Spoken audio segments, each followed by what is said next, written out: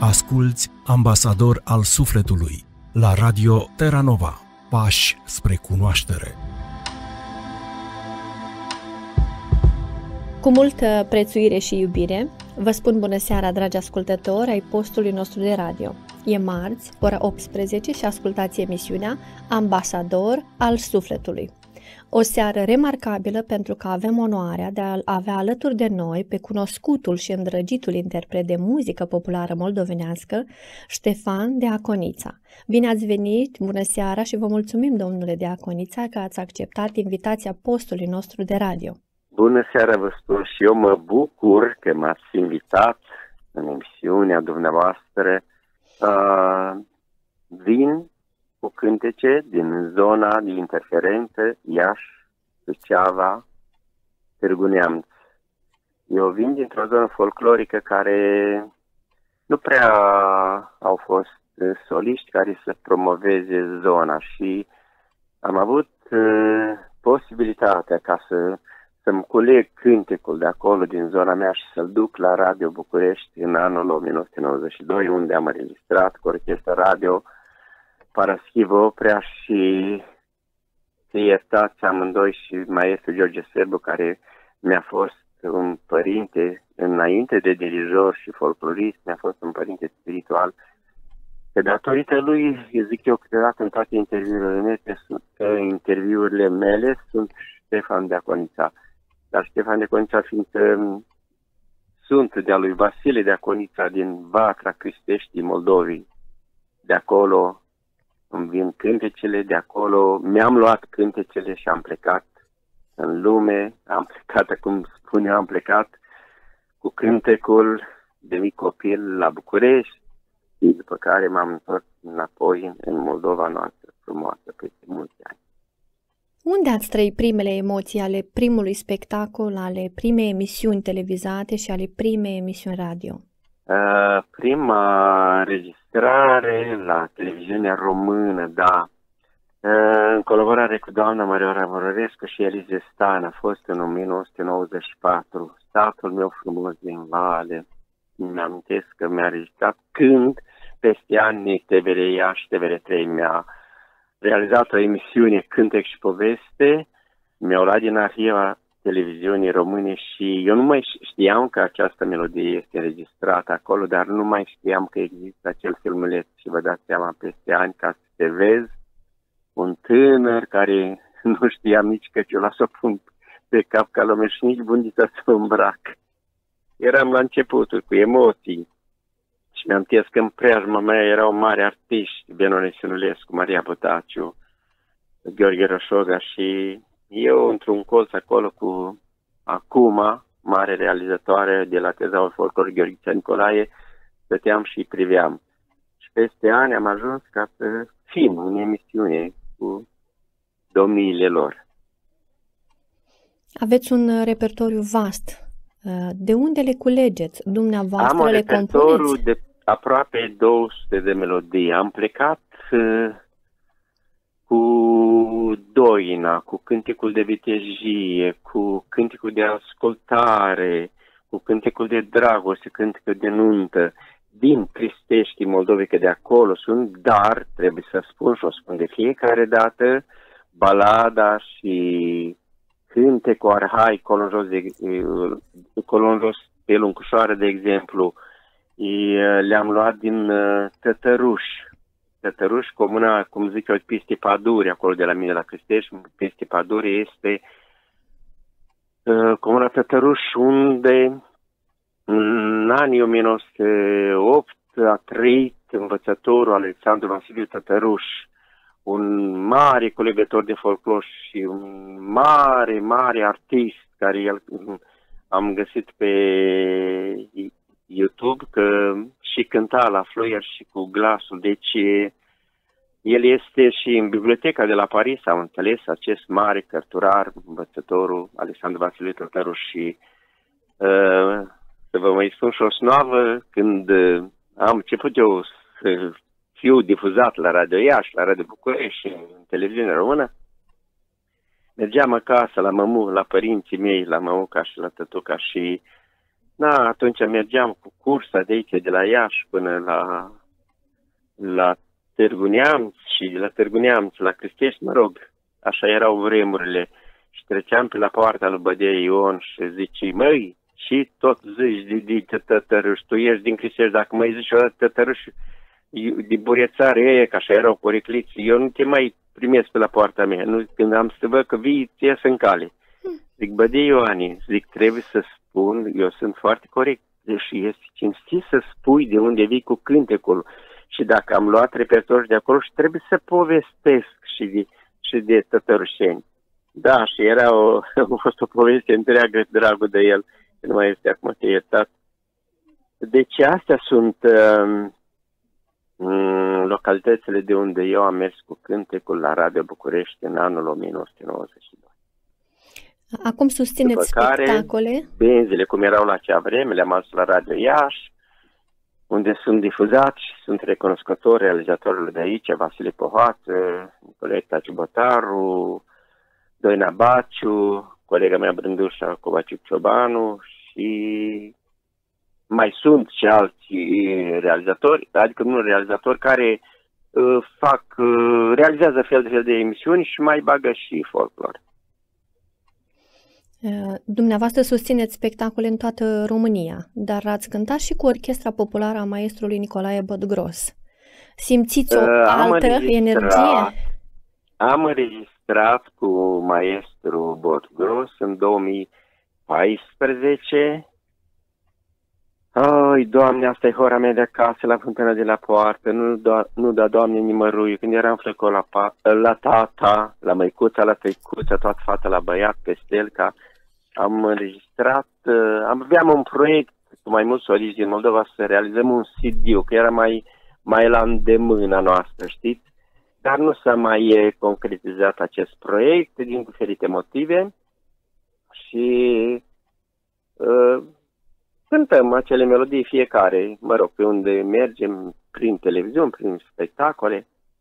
Deci am avut onoarea aceasta ca să am înregistrări și cu maestru Nicolae Bodgros. Dar, mă repet, dirijorul meu de suflet și folclorist a fost George, și atât de greu meste că vorbesc la trecut, maestru George Sârbu, Uh, am înregistrat și cu orchestra de la Botoșan, Rapsozii Botoșani, dar tot dirijor uh, maestru George Sârbu. Mi-amintesc că domnia sa, cu doamna Nuție Sârbu, soția lui și cu soția mea, Veronica de Aconitania, m-au, eram cu emoții, eram la început, am mers împreună la Radio București, cum era la acea vreme ca pentru cei tineri care ascultă, noi duceam materialul pentru, uh, ca să treacă printr-o comisie duceam 5, 6, 7, 10 melodii și din acelea 10, 12 sau câte melodii duceam, dacă ți-a aprobat două sau trei. Dar,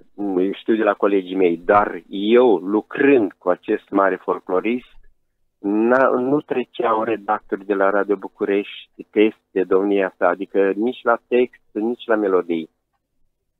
Și am avut ca să vă spun tot așa o snoavă, când la acea vreme când mergeam noi, ne dădea Radio București cazare și aveam o săptămână de spațiu la Radio București. Ei, nu vă spun, când mă vedeam pe holurile radioului București, eu un, un tânăr venit din zona Moldovei, uh, făceam cruce, zic, eu zic să fiu în Radio București, a, și o altă poveste, când intram, că atunci se înregistrat direct cu orchestra. Intra în studio, orchestra cu textul în mână, dacă nu știai bine textul, și când vedeam că s-a de becul roșu, trevoram tot și scăpam și textul din mână și maestru George Silva, Fani, dar ce faci? Și cântam și altceva. Mă, mă uitam pe text, cântam altceva. Atât de emotiv am fost toată viața și la ora actuală sunt emotiv în spectacole de gală. Iar uh, onoare ce mai mare am avut-o și cu Paraschiv Oprea, că nu e așa uh, dragul de el când uh, se îmbolnăvise, că lucrând mai cum mai este George Sârbu, trebuia să merg cu dumnealui în continuu, adică cei din Moldova, adică fiecare artist de la acea vreme mergea cu dirijorul din zona respectivă. Iar uh, dacă nu aveau spațiu, înregistram cu maestru Gio, uh, Paraschiv Opera. Și am ajuns acolo, mai sărbă să îmbolnăvisă și trebuia să registrez că era spațiu. Era tu, Ștefan de atunci, eu am avut un spațiu, aveam spațiu de, șapte zi, de șase zile, o săptămână, vă dați seama. Și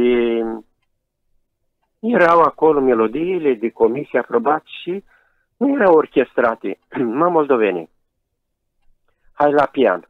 Am mers cu maestrul la pian, Parschiv Oprea, am cântat melodia, după am intrat în studio, vă dați seama câte emoții, câte trăiri am avut, cât, câtă frică. Bă, moldoveni, tu să nu mai vii cu de asta de arhaice și doine și balade, zic, maestre, zic, zic, sunt aprobate de comisie și trebuie să le facem. Și le-am registrat cu, cu frică și cu emoții. Și ce greșeală am făcut? Nu le-am promovat. Că au trecut ani, am făcut alte înregistrări, zeci și zeci, și alea au rămas undeva. Acum, de câte ori am ocazie să merg la televiziune, sunt invitat, filmez sau cânt o melodie, că sunt foarte valorate. Colo în jos pe Luncușoară, Inimioară, Inimioară, balada lui Ion Pietraru, Cântec de Vitegie, Mare Foc în jos la Ieșu. Și foarte multe, Corăbănească de la Tătăruș, Sunt Flăcău de la Cristești, foarte, foarte multe melodii frumoase, cu glasul de atunci, dar sunt atât de plăcute, fiindcă atunci nu cum în zilele noastre sunt, te duci, te duc, mă rog, și umblă la butoane cu la glas. Atunci înregistrai direct. Și Autentic. sună atât de frumos și orchestra și glasul, Doamne, Doamne. Mi drag acum și plâng când le ascult, mai așa când îmi vine dorul, pun CD-ul, că am uh, făcut o cerere ca să mi le trimită, că uh, când, dacă registrez în Radio București, păi rămân acolo, tu nu mai ai niciun drept să le iei.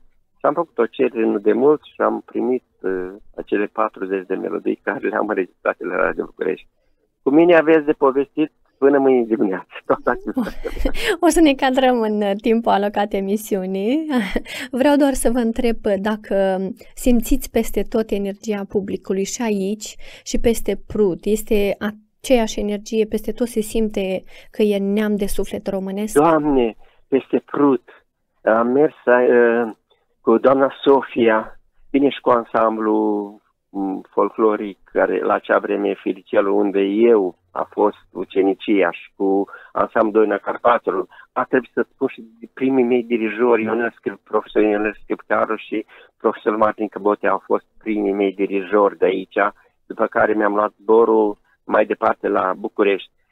Dar, când am mers în Siberia, Doamne, lumea lumea ne diviniza să scolam picioare și să, la bis, să este, erau români deportați din, din Basarabia, nu vă spun ce tragedie acolo și ce interviuri am dat și dragi de ei spuneau că capitala României este Budapesta. Atât am venit cu un suflet dărmat. Ei nu știau, dragii, că capitala României este Bucureștiul. Deci asta se întâmpla în 94 după Revoluție. Iar în Basarabia am fost cu doamna Sofia, câte spectacole am avut, în, colaboram cu ansamblu Sugurașul de la, de la Unghen, de aici, de lângă noi, la graniță. Am mers în, i-am adus aici în România de la diferite spectacole. Am fost în Siberia cu ei, am fost în Siberia de patru, de patru ori, de două ori cu um, ansamblu folclor Firicel și de două ori cu ansamblu Sugurașul din Republica Moldova. Cu doamna Sofia am avut un spectacol invitat de, de primăria din orașul Ungheni Doamne Dumnezeule, eram primit și suntem primiți. Uh, adică ei nu că simt mai mult folclorul, dar dorul ăsta, dorul ăsta de trecerea peste prut, uh, mă rog, este foarte important pentru ei și cântecul românesc pentru ei este, uh, este ca știți cum spune de, de multe ori, cum mergi într-o, bise- într biserică și să te închini, așa să, să închină dumnealor în fața cântecului popular. N-am spus asta niciodată, acum mi-a venit să spun cu ideea și mi-am că am imaginile și am și un videoclip cu ei făcut cu orchestra Strugurașul la Chișinău, în televiziunea Moldova. Deci leac pentru suflet. Leac pentru suflet e muzica populară românească și dincolo. Absolut. Cine a Absolut. crezut? Cine a crezut în dumneavoastră, în talentul, în harul și darul dumneavoastră și v-a susținut să începeți cariera de interpret de muzică? Cel mai, cel mai de un mentor, așa să zic, din spate, care pur și simplu vă îndemna. Poți, mergi mai departe, ești făcut pentru asta.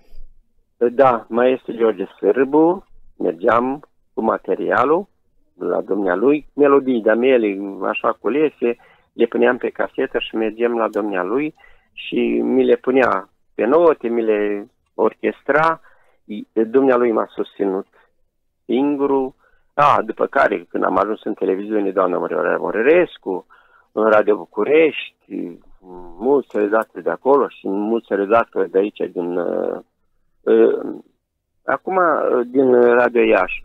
Uh, tinerii mai ascult acum, mai am câte un fragment pe YouTube cu, din balade și mi-au zis câteva tineri că sunteți singurul care aveți așa un repertoriu, adică lipsit de modestie, că noi la îndem, adică soliștii chiar și de vârsta mea nu au repertoriu cântecele care le am eu, balada, cântece de vetejie și cântecul arhaic. Și ei acum sunt foarte dornici ca să le dau materialul. Zic, mai zic, munciți, căutați, eu deocamdată, trebuie să fac niște videoclipuri cu aceste melodii, că nu sunt undeva pe YouTube, trebuie să fac eu întâi, mă rog, niște videoclipuri cu ele și după ce voi o să, o să vi le dau și vouă. Deci v-ați gândit vreodată să colaborați cu generația tânără care compune da, cover după melodii populare? I-am îndrumat, i-am chemat acasă, le-am dat pe înregistrări pe telefon cu doini, cu balade, să meargă pe la concursuri. Uh, i-am, acum mai am niște tinere fete, tot așa le-am dus la profesorii mei de la Suceava și i-am, uh, i-am prezentat și le-a făcut repertoriu extraordinar. Deci cine mă abordează, îi ajut cu tot dragul, că știu, eu eram în stare când, hai, Doamne, spunea mămuca mea, și cauți tu la București, cum te duci tu atâta loc cu trenul? Și eram în stare să plătesc pe cineva ca să mă ducă, să meargă, să fiu, să am pe cineva la drum. Și așa m-am dus, cum vorba mea cu Traista la București mulți ani de zile până ce uh, am fost invitat, după care, da, am fost invitat de foarte multe televiziuni de la București și le mulțumesc pe această cale. Mai afară cântă, televiziune mai... română care pentru mine este prima dragoste, ca să spun așa. Într-adevăr, e prima dragoste pentru toată lumea, pentru tot românul. Da, absolut. Dacă ajungi la televiziunea română, înseamnă că ești... ai ce spune, ca să nu zic altceva, Adică acolo nu oricum și nu oricine ajunge. Trebuie să ai un repertoriu, trebuie să ai uh, un costum, trebuie să reprezinți o zonă, trebuie să... Eu mi-am uh, vremurile noastre uh, nu te abă, adică nu luai melodii din Botoșan sau din Suceava sau din Vaslui. Nu. De unde ești? Păi de acolo. Tu învii cu repertoriul de acolo, pe casetă, când le aduci la, la comisie, tu vii din satul tău, din, din comunul, din prejur aduci material. Deci erau niște specialiști extraordinari care știau orice zonă și subzonă folclorică. Acum nu mai comentez. Da, a fost, procedează. a fost, este, sau să zicem că a fost un, un filtru al calității televiziunea Absolut. română. Vreau să vă mai întreb, cine mai cântă, dacă mai cântă cineva din familia dumneavoastră, dinaintea dumneavoastră sau de după, tineri mai, tineri membri ai familiei, copii, nepoți, mai cântă cineva?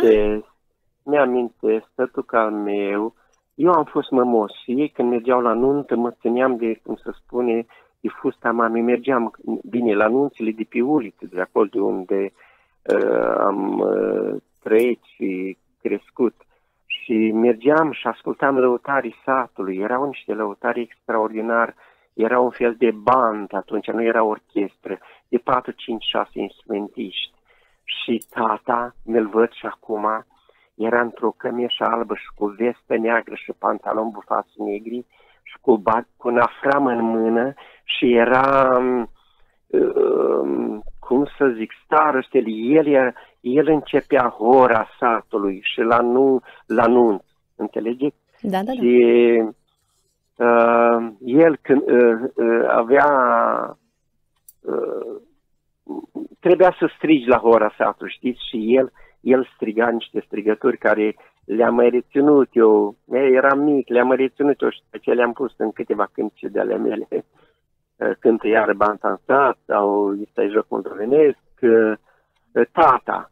Mi-am că era o verișoară de, pe, de la fratele tata cânta extraordinar.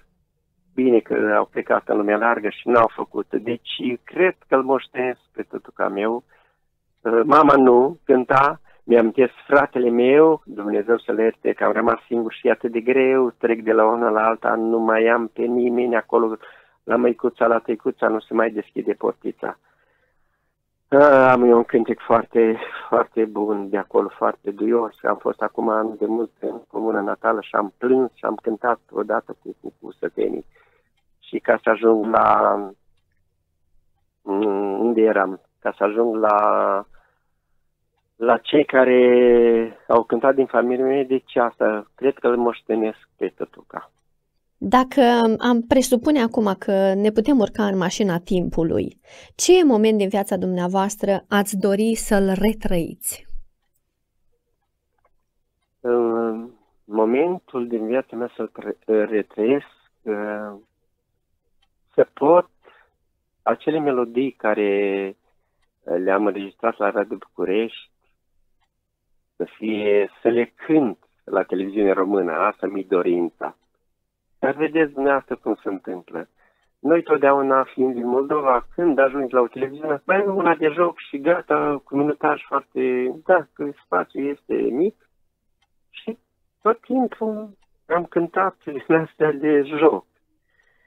Să nu credeți dumneavoastră că eu mergând aici la noi, la Catedrala Sfânta Paraschivă, că fără Dumnezeu nu se poate și fără rugăciuni. Asta eu spun totdeauna, eu dacă în viața am reușit, am reușit prin rugăciuni, prin slujbe, este că uh, lumea mă oprește și mă întreabă, dar zice, de ce nu se cântă la televizor și mai melodii mai de suflet, mai de mamă, mai de...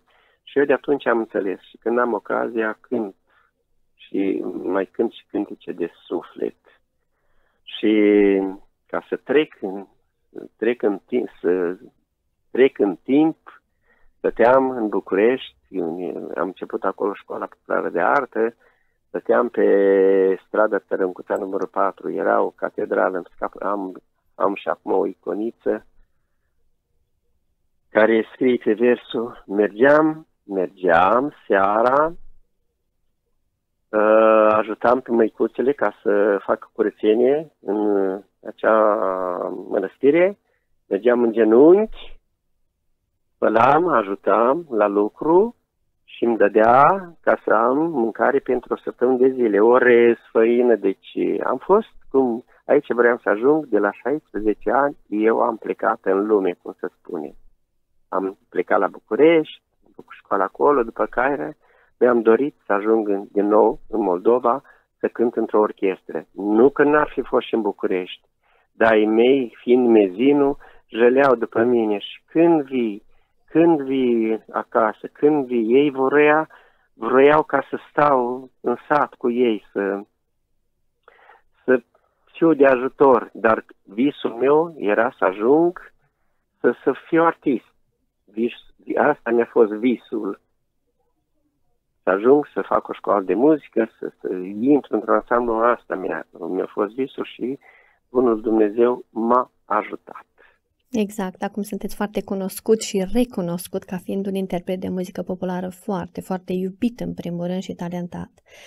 Cel mai uh, apropiat proiect al dumneavoastră, care este? Unde vă putem vedea? Spectacol? În perioada imediat următoare? Există? Păi există, a, cât de curând o să fiu într-un juriu pe 4 septembrie la un festival care o să fie în uh, Copou. Uh, m-a invitat un, un realizator de mere de actor la Corabia, într-un recital, poate că de sărbătorile Iașului, o să fim invitați de domnul primar Chirica, care îi mulțumesc pe această cale, că din, de când dumnealui este la conducerea primăriei, am fost chemați și noi, slujitori ai cântecului popular de aici, din Iași. De câțiva ani suntem invitați la cele mai frumoase spectacole din, din Iași, din 1 mai, din 1 decembrie, de 24 ianuarie. Și asta mă bucură că sunt uh, printre artiștii consacrați ai Iașului, ai Moldovei, ai României, de ce nu, și sunt invitat în diferite spectacole. Și ne bucurați și pe noi cu prezența dumneavoastră și cântul ecol minunat. Se vede și se simte fericirea dumneavoastră atunci când cântați. Dar da, ne, da, da. Când ne rezi, puteți... cântec pentru mine este totul. Dar uh, ne puteți spune ce vă face fericit în timpul liber? În timpul liber. Mă face fericit când nepotul trece pe la mine, mă face fericit când vorbesc cu nepotul din Germania, mă face fericit când uh, mă uit la CD-urile care, care le am, mă face fericit că mai am un proiect, am, am o melodie, trebuie, am un fel de boce, de strigăt, trebuie să o înregistrez neapărat. Am melodii noi înregistrate care nu le-am uh, promovat, deci deci astea mă fac să, să, să fiu, să pot merge în continuare, știți, cum să spune, pe acest drum, care câteodată este și nevoios și, și cu lacrimi și cu supărări. Nu e chiar atât. Mai sunt și suferințe care, știți cum suntem noi, de exemplu, cum am fost aici la Cristești, când am avut spectacol pe 15 august, cântam o melodie de dor, de jale, de sat, de mamă și după aia cântam una, plângeam în melodia aia, aproape de public și după aia cântam un de joc și de dragoste. Și, da, aici e cum suntem noi. În spatele cortinii, cum spune de, de multe ori, este și o lacrimă în colțul ochiului, dar când ieșim în fața publicului, Uh, lăsăm în spatele cortinei supărarea și gândurile care poate ne pasă de multe ori. Și dăruiți doar bucurie și fericire. Dom- da. Domnule Diaconiță, a trecut foarte repede timpul cu dumneavoastră. Vă mulțumim pentru toată bucuria ce ne-ați dăruit-o prin prezența și vorbele dumneavoastră și cu drag, pentru că mai aveți uh, de lansat melodii. Vă invităm și vă mai așteptăm aici cu alt, da, mai am noutăți, noutăți și am să vin la dumneavoastră și o să mai comunicăm. Mulțumesc ah, nu v-am spus, am o carte în lucru de mulți ani de zile. Oh, noutate! Doamne.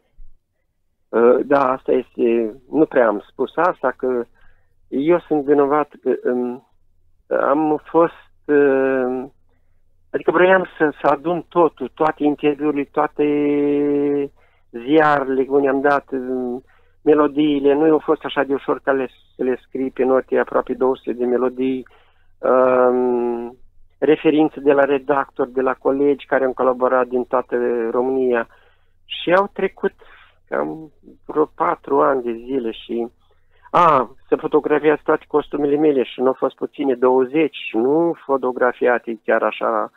Uh, a fost uh, costisitor, dar uh, aștept n-am spus niciodată. Eu tot să ei, mă pregătesc pentru o revistă, nu știu ce, nu știu cum.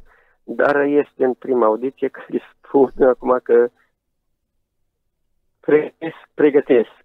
Vreau să ies pe piață, cum să spune. Vreau să să fac un spectacol cu, cu, cu această, să zic, lansare de carte. Vă mulțumim Eu am foarte făcut și, mult. și cu ani în urmă am făcut lansare de de CD-urile de Șoar de Iași am avut la, la Radio Iași, unul din cele mai frumoase spectacole la acea vreme. Uh, de fiecare dată am făcut o lansare la CD-uri, dar acum poate mi ajută Bunul Dumnezeu să fac un spectacol, uh, lansare de carte. Am și uitat cum i-am dat titlul, nu mai țin minte, cu doamna care... Uh, deci care vă, vă, vă susține cineva să o faceți împreună, nu?